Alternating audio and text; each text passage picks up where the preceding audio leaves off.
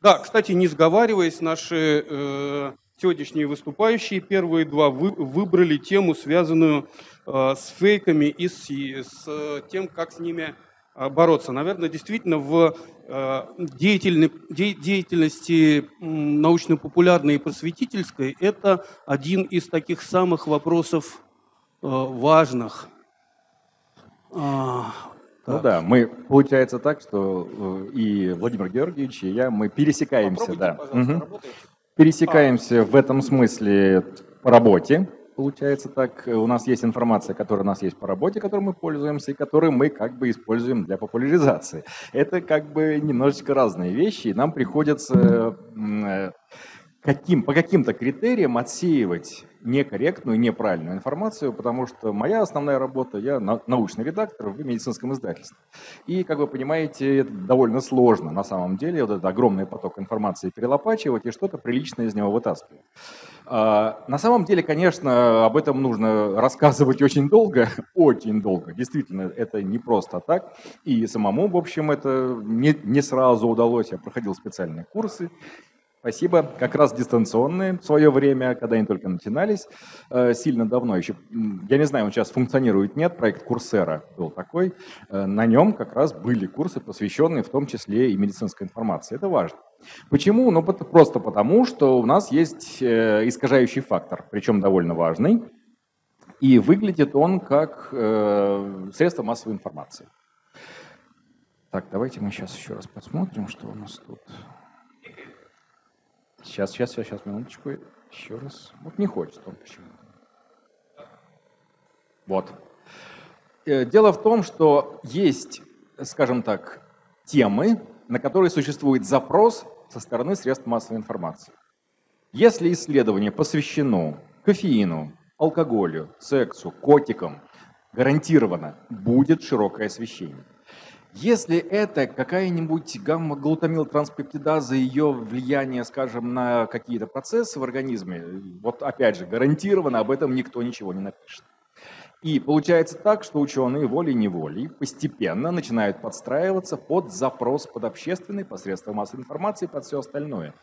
И это подтверждается научными исследованиями на эту тему. То есть получается так, что по громким, скажем так, темам, э, исследования с короткими заголовками – исследования с медийной историей, они лучше всего цитируются. Как вы понимаете, да, наукометрию никто не отменял, спрашивают с ученых за это дело. Э, это влияет на грантовую политику, на все остальное, поэтому они вынуждены, в том числе, ну вот э, такой известный мем про британских ученых, он не просто так появился. Это действительно именно вот из-за вот этого искажающего фактора. Поэтому я постараюсь сегодня показать, как пользоваться вот этим инструментом. Новости – это действительно вещь замечательная, прекрасная и изумительная, да, но нужно понимать, что это инструмент э, для определенного влияния, для того, чтобы, например, зарабатывать в том числе средства массовой информации, для того, чтобы продвигать э, определенные повестки, вопросы и прочее, прочее и вам нужна информационная безопасность. Ну вот как тут не крутись. У нас есть и кибербезопасность, есть там, не знаю, какая-то финансовая безопасность, вот медицинская безопасность в том числе.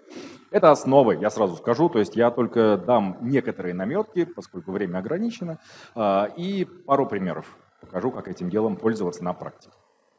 Итак, а, ради интереса я э, подобрал специально парные новости – чтобы показать, как и Владимир Георгиевич об этом рассказывал, что далеко не всегда даже журналисты врут. Дело в том, что вот эти парные новости, кофе улучшает память, кофе затрудняет запоминание. Далее, кофе предупреждает развитие сахарного диабета, кофе провоцирует развитие сахарного диабета. И мое любимое, три чашки кофе в день серьезно уменьшают размер женской груди, либо три чашки кофе в день значительно снижают риск развития болезни Альцгеймера. То есть придется выбирать. Да? А, и получается, что это не вранье. Журналисты абсолютно честно описывают те самые исследования, которые есть в журналах. И да, действительно, в большей степени виноваты ученые, которые не рассматривали какие-то альтернативные гипотезы, да, то есть вопрос о качестве исследования. То, что мы освещаем в средствах массовой информации, не обязательно качественное исследование. Это важно. А, и вот эти парные э, случаи, это все с одного медицинского сайта. И как вы видите, можно, да, получается, можно было бы сказать, что доверяйте вот этому сайту. Но на нем, как видите, противоречивая информация. И вот чтобы разобраться, что на самом деле, как тот же кофе влияет на память, нам придется копать внутрь, вглубь, выяснять, о чем конкретно писали ученые, что они имели в виду и не переврали ли их на вот этом длинном пути.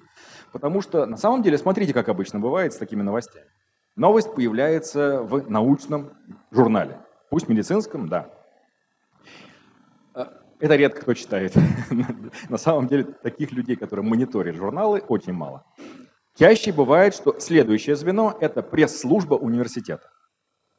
Они уже немножко упрощают для того, чтобы э, скормить, скажем так, это заинтересованным аудиторией. Дальше это берут средства массовой информации, ну такие более-менее специализированные и которые в этом разбираются. Они пишут уже свой вариант. Дальше это берут то, что называется общепароходские СМИ, те, которые пишут обо всем абсолютно. И дальше переводят уже с английского наши СМИ. Сначала крупные, потом помельче. И вот там где-нибудь в самом конце вот этой цепочки может оказаться такая жуть, что ученые даже не подозревали, что они такое нашли. Э, на самом деле, конечно, с проверкой фактов сложно. И да, действительно, на эту тему прям ведутся специальные работы. Сразу скажу, это не я придумал вот эти критерии проверки. Это Международная федерация библиотечных ассоциаций и учреждений. И существует такая. И они уже довольно давно сформулировали правильные подходы к работе с новостями. Итак, вы видите, что, например, такое-то, не знаю, там, растение, если его есть, оно будет продлевать жизнь на 150 лет еще. Давайте разбираться с этой новостью. То есть прежде всего мы изучаем, откуда это взято, источник. Самое главное.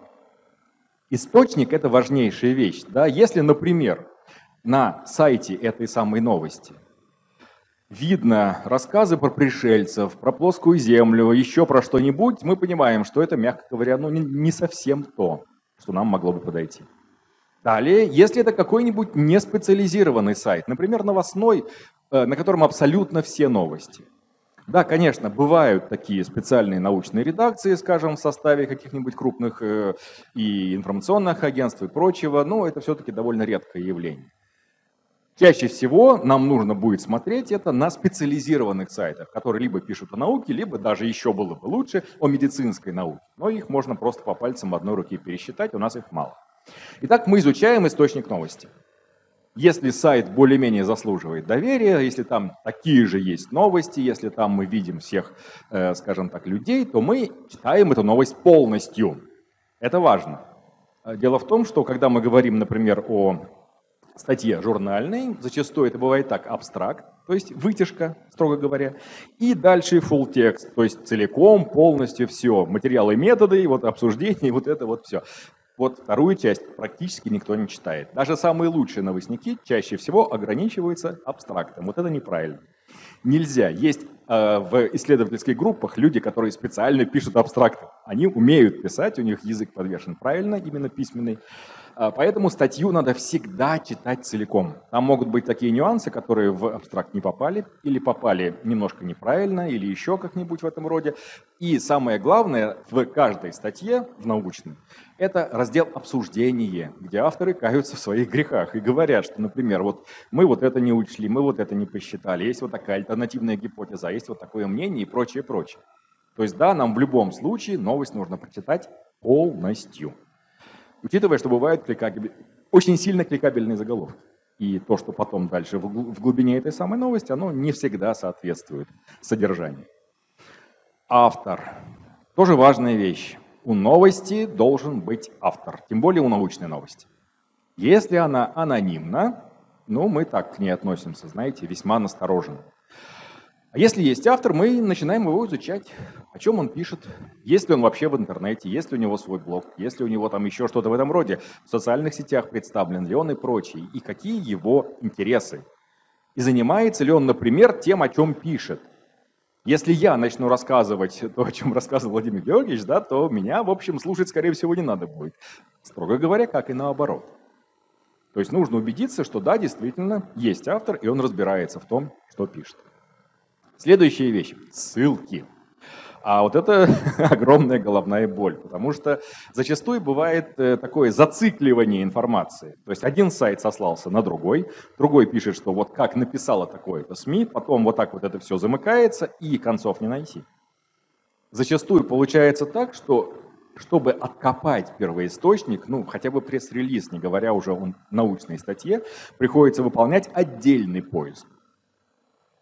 Поэтому, да, в обязательном порядке нужно посмотреть, есть ли там ссылки, которые ведут напрямую на исследование. Вот если есть такие ссылки, это значит, скорее всего, источник будет более-менее надежный.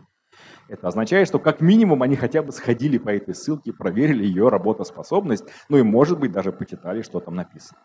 Если ссылок нет, проходим мимо. То же самое. Далее, еще одна важная вещь – это, конечно же, дата выпуска. Надо сказать, что когда мне приходилось работать в средствах массовой информации, в медицинском приложении Лента.ру, я там был главным редактором, и в том числе мы пытались вытащить из болота журнал здоровья в свое время, тоже не получилось, он предпочел там остаться. Ну, как бы ладно, его выбор. Э, но важная вещь, на сайтах на некоторых сайтах, ну, скажем так, почти практически на всех, движки позволяют делать апдейты и указывать дату апдейта. То есть, например, новость вы, выпущена, мы указываем там, 28, предположим, июня, и следующее обновление 30 июня или там 10 августа или еще что-то в этом роде. То есть по мере поступления какой-то новой информации что-то изменялось и прочее, прочее. Это тоже важная вещь, потому что если это есть, и указывается апдейт, и есть история правок, то это просто замечательно. Это как раз то, что мы говорим в смысле правильной подачи информации. Да? Следующий шаг – панорама. Ну, как вы, вы знаете, есть у нас такое информационное агентство. А вообще э, зарубежная вот эта вот мода на фейковые новости – это не совсем фейк. Иногда это бывает сатира. То есть вот в чистом виде сатира. Люди специально предупреждают, что, ребята, это шуточное издание. Мы здесь просто как бы иронизируем над миром. Но если вы когда-нибудь слышали, что Рокфеллеру пересадили шестой раз сердце, а на это попадалось РИА Новости, на это попадались еще там многие наши средства, это оттуда, это из шуточных э, сайтов. И самое важное, что это всегда указано вот наша знаменитая панорама, которой теперь почти нечего писать, да, реальность оказывается гораздо круче, а, то у нее прям специально написано, что это сатирическое издание. То же самое касается остальных. Поэтому важно. В мире несколько десятков таких сайтов. На Википедии есть прям перечень шуточных сайтов. Ну и самое главное – экспертная оценка. То есть если вы эту новость разобрать не можете, не хватает у вас ваших знаний, значит, нужно обращаться к проверенным экспертам. Ну, средства массовой информации попроще и журналистам, потому что у нас есть пул экспертов, которых мы можем спросить. Да, мы можем уточнить, там, а вот это возможно или вот это проводится, а есть ли вообще такая группа. И на самом деле современные вот эти цифровые технологии, они великолепны. Потому что мы на сегодня можем напрямую связаться с исследовательской группой.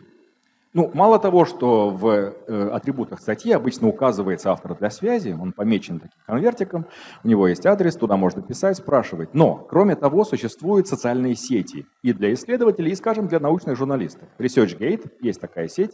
Э, меня туда долго не пускали, приходилось показывать все, так сказать, свои публикации, редакционные удостоверения, дипломы и прочее, прочее. Но когда я туда в итоге попал, стало намного проще. Потому что ты видишь публикацию, которая там появляется, и ты можешь напрямую в чате спросить у любого из исследователей, который там представлен, а что вы имели в виду. То есть не интерпретировать, не придумывать, а спросить у авторов, что они имели в виду. Они иногда присылают какие-то дополнительные вещи, что-то разъясняют, уточняют, и ты получаешь правильную картину. То есть ты не искажаешь новости. Такой набор экспертов, в общем, рекомендован для большинства людей, э, лучше его иметь. Ну, давайте теперь посмотрим, э, как это работает на практике. Например, в последнее время вот эта вот новость, она прям затмила все. Что интересно, ее выпустили перед заседанием Чрезвычайного комитета ВОЗ. И, пожалуйста, сразу ВОЗ объявила пандемию во всем мире и прочее, прочее. Все плохо. Но вот опять же, смотрите, если мы смотрим на заголовок и хотя бы на подзаголовок, то там уже мелькает другая совершенно вещь. Там почему-то всемирная сеть здравоохранения, уже не ВОЗ, а какая-то другая организация. Но для большинства людей это, в общем, вещи взаимозаменяемые. То есть, да, все плохо, да, действительно, это ВОЗ и прочее, прочее. Но на самом деле нет. Потому что если мы пойдем на сайт этой самой всемирной сети здравоохранения, то выясним, что это общественная организация. Да, вот это заявление. Да, что мы объявляем. Ну, а кто мы? Начинаем выяснять. То есть мы читаем, что на этом сайте написано, и вот, пожалуйста, здесь Google перевод, так что не обращайте внимания, что это да, просто независимые эксперты, от которых уже ничего не зависит, их нигде в мире не слушают и прочее, прочее. Они поэтому объединились в такую сеть и вот начинают пытаться э, хайповать, что называется на современном языке. Они как раз специально перед этим заседанием ВОЗ выстрелили, что называется, чтобы обратить на себя внимание. А специальная группа ВОЗ, они даже чрезвычайной ситуации это не признали, по крайней мере, пока что на сегодняшний момент. Но это проверяется быстро. Мы посмотрели, чье заявление, мы нашли их сайт, мы убедились, что они занимаются вот таким вот активизмом, что называется, не более того. То есть никаких научных исходных данных, никаких анализов, ничего здесь нет. Просто вот мы посчитали, что здесь слишком много случаев этой самой оспы, значит это пандемия? Нет, не значит. Дело в том, что пандемия – это очень особая вещь, это, э, скажем так, э, понятие, термин, состояние, у которого есть критериальная база и которая объявляется только Всемирной организацией здравоохранения и на самом деле не влечет за собой никаких юридических последствий. То есть пандемия – это просто констатация некого факта, некого состояния, не более того. Но это только в прерогативе ВОЗ, более никого. Сложнее. Э, в журнале «Эксперт» в прошлом году была опубликована статья, где, значит, рассказывали, что все плохо, прививки убивают, вот эти вот спасенные жизни, которые посчитали сейчас, это как бы нет, их нету, а вот зато там сотни тысяч миллионов умерших именно от прививки. От осложнений, от всего остального. И здесь, в том числе, приводится мнение эксперта. Причем эксперт не просто так, он профессор, председатель Московского научного общества терапевтов. То есть для человека, который не в курсе, что конкретно этот за человек и что он конкретно рассказывает, это может быть вполне себе нормальным, э, скажем так, нормальной отсылкой. Да, действительно эксперт. Читал э, отчет аргентинцев по прививкам спутникам. 75 тысячам привитых потребовалась госпитализация. У них лихорадка, головные боли, боли в мышцах, и они выражены, раз требуется госпитализация. Я не припомню таких вакцин, после которых требовались бы тысячи госпитализаций. Я тоже не припомню. И на самом деле, если мы, опять же, здесь нет, смотрите, нет ссылки на этот самый отчет. Хотя, по идее, группа эксперта, да, это же все-таки журнал, да, эксперт и онлайн-журнал. То есть вот сюда бы нужно было бы поставить гиперссылку, отчет. Потому что нам придется его искать отдельно. И да, действительно, мы его найдем, но он на испанском еще. То есть это еще и попробуй переведи, да? Ну, хорошо, у меня есть люди, которых я могу попросить это сделать. А, и да, действительно, выясняется, что там есть информация госпитализированных. И давайте мы посмотрим, как она выглядит. Довольно просто. Анализ такого-то числа уведомлений показал, что около 2% были сочтены тяжелыми, и только 0,3% из этого относились непосредственно к последствиям вакцинации. И вот эти тяжелые формы, они относились к случаям, которые требовали госпитализации. То есть госпитализированных у нас будет гораздо меньше, в принципе. И опять же, у нас есть критериальная база. То есть мы можем на определенные критерии опираясь сказать, требует случай госпитализации или нет. И вот у нас эта самая таблица что считается тяжелым и что считается не тяжелым. Для спутника V этот коэффициент был 0,66 на 100 тысяч примененных доз. Теперь простая арифметика, даже не алгебра или ничего чего-нибудь. То есть а самый обычный подсчет. И в итоге что у нас получается? 75, запятая 0,35. То есть не 75 тысяч, а 75 человек целиком было госпитализировано после спутника вот на, э, э, по данным этого отчета. Получается, что всего-навсего в тысячу раз эксперт переврал. Вот казалось бы, что мешало редакции сходить на этот самый отчет и вот эти действия простейшие выполнить. Ничего не мешало. Но хайп, крики, так сказать, все остальное. И плюс нужно понимать, что вот, например, означенный эксперт, он регулярно был на круглых столах э, Марии Шукшиной, например, и рассказывал еще более страшные и ужасные вещи, несуществующие, да, те, которые в природе не существуют. Так что да, э, действительно, есть всякие разные, разные аспекты. И когда, например, говорят, что «а вот эта публикация есть в PubMed», все, то есть это вот прям железобетонно. Вот что вы скажете на это? В PubMed есть. Ну, я скажу, что это просто каталог. То есть это э, по способу организации, это мусорка, помойка такая своеобразная, куда вообще любые публикации на медико-биологическую тему сложены. Здесь не проверяется качество исследования. Главное, чтобы журнал был э, зарегистрирован в этой системе, и из него публикации автоматически попадают в этот самый PubMed. Поэтому, да, я, конечно, понимаю, что есть секта свидетелей PubMed, но от этого как-то не сильно легче. Нам нужно в обязательном порядке читать это исследование, да, изучать его качество, смотреть, о чем оно вообще и прочее, прочее. А это сложно. А, и, как я и сказал, да, у нас есть абстракты, а есть фулл-тексты. Абстракты всегда очень красивые, а фулл-тексты, как вы понимаете, немножко другие. Они предназначены для разных целей. На абстракты как бы ученые заманивают журналистов, а в фулл-тексте уже рассказывают специалистам, как оно на самом деле было. Где брать вот обычным людям информацию? Ну, я понимаю, что мне придется лезть в PubMed, да, брать кайло и там довольно глубоко бурить. А обычным людям как сориентироваться? Ну, один из вариантов – это кокрейновское сотрудничество. Оно есть на русском языке в том числе, потому что у нас есть кокрейновское сотрудничество здесь, в нашей стране. А что это такое? Это группа экспертов, которые во всем мире работают по определенной методике, проводят систематический анализ, и, вернее, систематический обзор и метаанализ. Есть утвержденная, полная, так сказать, международная методика. Они берут какой-нибудь узкий вопрос, ну, например, помогает ли витамин С для профилактики гриппа. Или там, не знаю, какие-нибудь мази согревающие при болях в пояснице, что-то в этом роде. И вот на этот вопрос они собирают всю имеющуюся на сегодня научную информацию. Там они ее сортируют, проверяют качество. Вот здесь они как раз этим занимаются.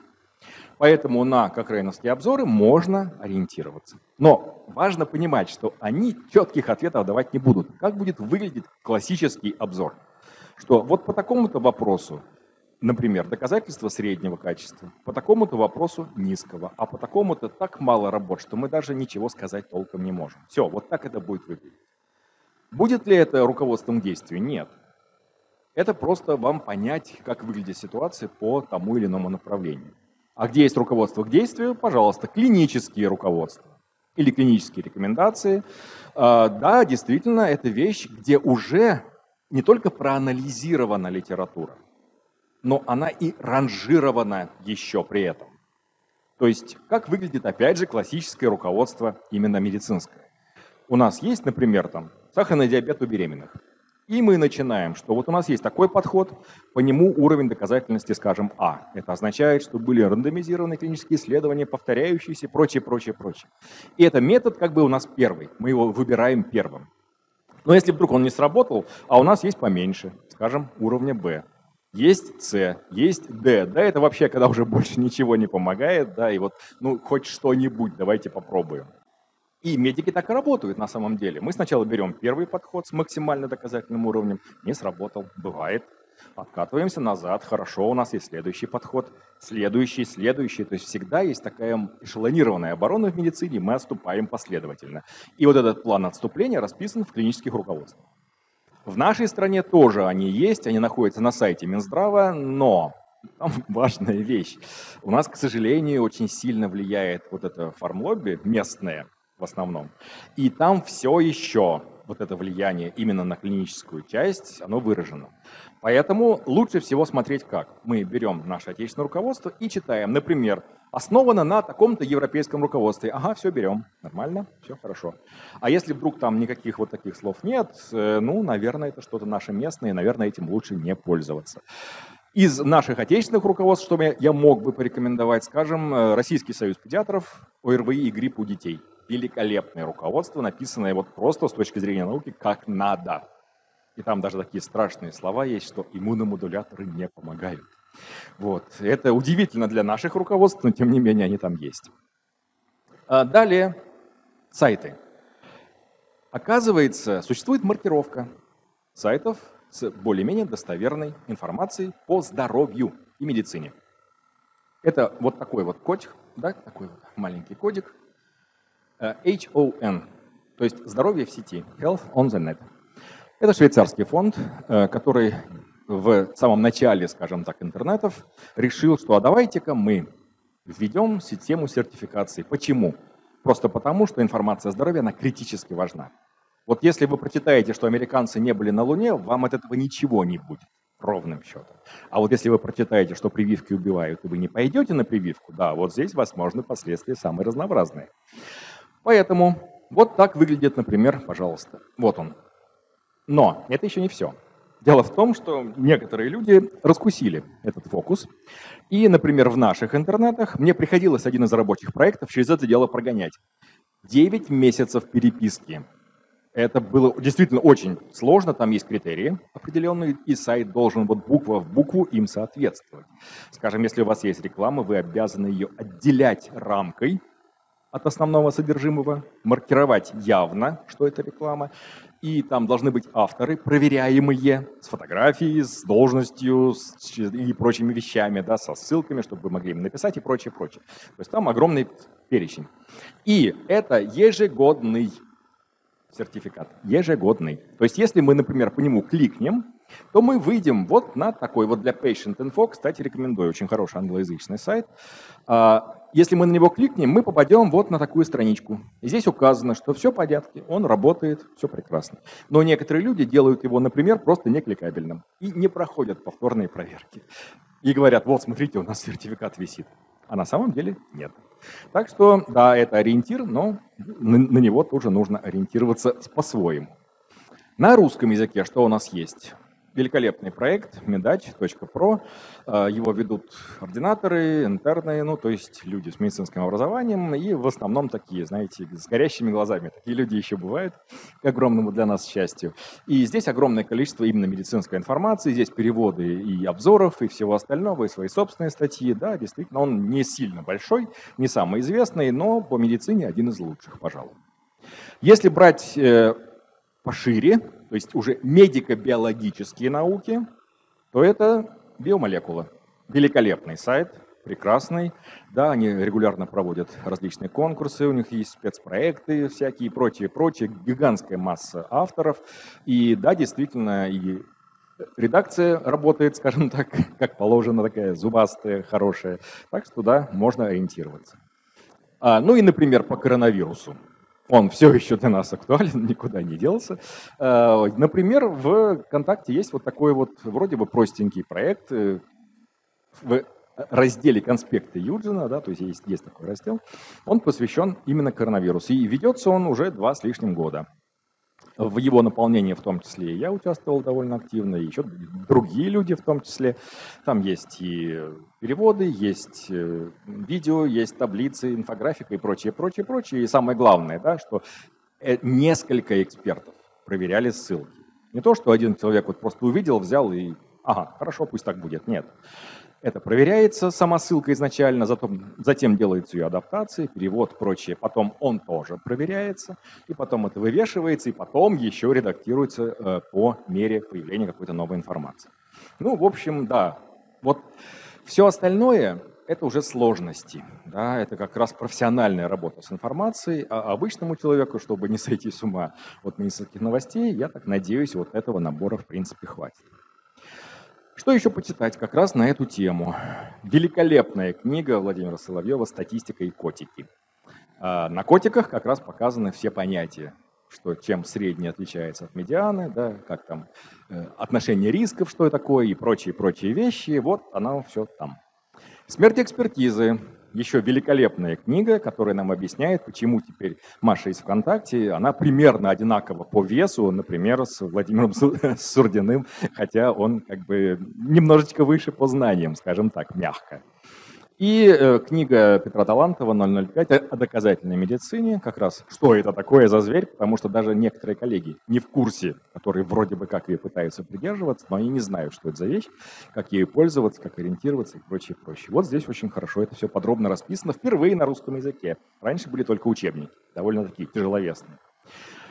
А, на этом спасибо за внимание. У меня есть телеграм-канал, куда можно приходить, в том числе и с вопросами медицинскими. Спасибо. Отлично, спасибо. А можно я свяжу предыдущий доклад и ваш? Задам такой вопрос.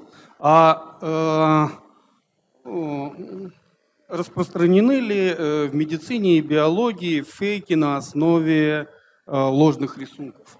Да, конечно. Фотографий, рисунков да, и так безусловно, далее. Безусловно, очень много. К сожалению, огромному. Photoshop — это величайшее достижение человечества, на мой взгляд, да, потому что мы действительно смогли увидеть то, чего раньше не могли увидеть, но в том числе и по тем причинам, что этого раньше просто не было вообще, да. Это созданные вещи некие, первое. Второе. Например, у вас есть исследовательская группа. Вы лет 10 занимаетесь какой-то темой. Вы разгоняете, скажем, на вестернблоте, на геле, вот на этом вот э, белки – и вы уже вот настолько близки к той, к подтверждению той гипотезы, которая у вас была изначально, но вот, но вот гидрогель мешает. То есть результаты, ну, ну чуть-чуть, чуть-чуть, надо вот чуть-чуть их подделать. И в результате что у нас получается, что скан делается этого самого гидрогелевого э, разгона, потом он чуть-чуть правится в фотошопе и выдается за истинность. Это очень распространено, то есть настолько распространено, что даже я просто, когда занимался мониторингом новостей, я несколько раз просто видел, я вижу публикации, причем в журнале, скажем, издательской группы Cell, то есть это просто, я не знаю, что круче, не могу придумать, и там натурально, да, фотошоп. То есть ты четко видишь, что откуда взяли. Ну, потому что ты знаешь, как это работает и как это можно сделать. Э, несколько раз мне приходилось писать их научному редактору в этот журнал и говорить, ребята, вот тут что-то не то. И потом, э, да, приходили письма от исследовательской группы с извинениями, что, ой, ну это технишин был, он там что-то перепутал, не те картинки подложил и прочее, прочее. Называется, не прокатило. Но такого очень много. И да, даже в исследованиях я уж не говорю какие-нибудь фейковые новости. А, так, какие у нас вопросы из зала? А, так. Константин Костюк. Э, ну да, размах проблемы растет с каждым годом, и вот не только в медицине, а вот в, в э, отношении школы уже тоже всем э, ясно, и все время говорят, что вот интернет, а нужны проверенные какие-то там сегменты интернета, знания. Вот судя по вашему, это аналитики с каждой новостью э, ну, невозможно много нужно работать. Да. Э, даже в такой вот востребованной зоне, как здоровье, это тоже ну, не очень проходит, судя по тому, что мы не знаем вот эти вот проверяющие службы и сайты. А вообще вы считаете реализуема такая идея, проверенные интернет для школы? Я думаю, нет. Для это нереализуемо. Дело в том, что мы упираемся в человеческий фактор, а люди могут ошибаться. И поэтому у нас не получится сделать некий загонтик, в котором будет все вот прям как положено. Я бы предложил начать с исправления ошибок в учебниках по биологии школьных, потому что эта проблема гигантская, невероятная. То есть у меня супруга преподаватель биологии в школе как раз, и э, с этим приходилось сталкиваться неоднократно. И мы общались, например, с пасечником, переходилось пересекаться, и мы показывали просто эти фрагменты, где, ну, наглая ложь, что называется. Например, что э, витамины могут быть ферментами. Это как?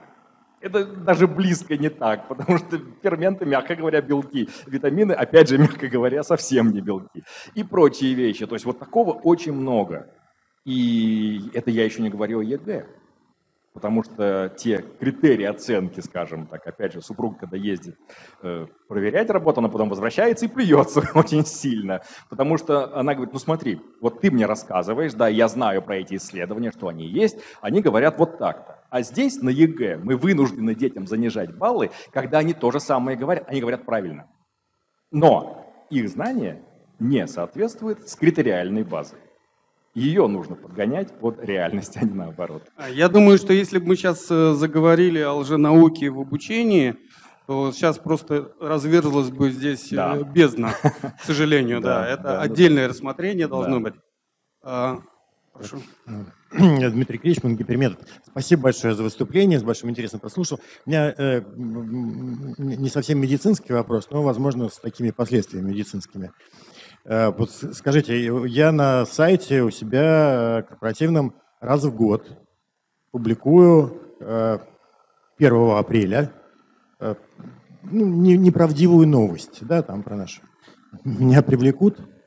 Нет, нет, если вы ее пометили определенным образом. Я написал 1 апреля. А это не важно. Важна не дата, а важна некая пометка. Смотрите, как обычно делают люди, которые профессионально этим делом занимаются. Они делают новость 1 апреля, но в ней стоит какая-то метка. И потом, постфактум, рассказывается, что, ребята, вот все новости, которые были вот с такой меткой, например, она может быть графическая, она может быть еще какой-нибудь, вы уже потом говорите, что это была шутка. Вот все новости, которые от этого числа были другие, они нормальные, а вот с меткой они шутливые. То есть мы ее маркируем. То есть 2 апреля я публикую следующую Желательно. новость про, про метки. Да, Да, и хорошо, что это не 1 апреля. Да, Да, да, да, да. Спасибо.